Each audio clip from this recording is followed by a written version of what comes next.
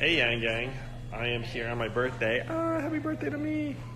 Happy birthday to me. you know what to do.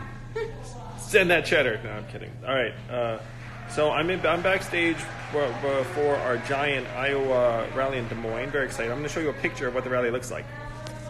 Do you see it? It's a packed room, 500 people. Yeah, so it's like 500 plus. Uh, it's one of the biggest rooms we've got going. And I'm now going to show you where I am. I'm in a storeroom.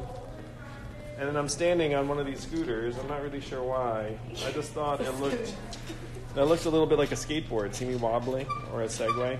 See that? See that? Uh, yeah. So I was just trying to see if I could make it move. It moves a little.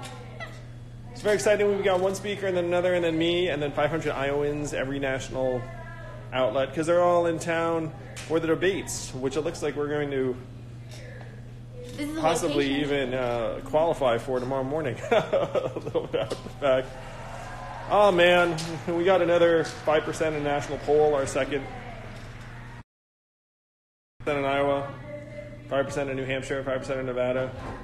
Yet, because there weren't enough polls, we will not be there tomorrow night. But it doesn't really matter because you can see that there are all these Iowans out there. Maybe I'll even walk you to it that are excited to figure out who should be president of the United States. And I'm going to try and show you this. There's the awesome officer.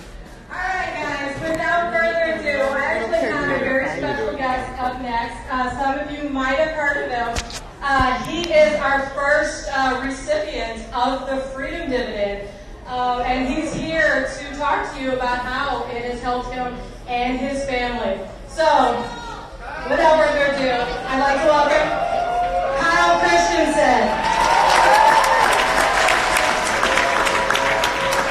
Thank you, thank you. Yeah, say goodbye. Say hi. There you What just happened? go. Say goodbye. All right, fine. Looks like I got to go on. Thank you, Yang Gang. Thank you for all the birthday wishes. Really appreciate it. We are going to win this whole thing. I don't know if you can tell, but I can sure tell. I think they're going to be able to tell too. Thank you all. We've got three more weeks till the voting starts. Let's peek right when it happens. We'll see you in a bit.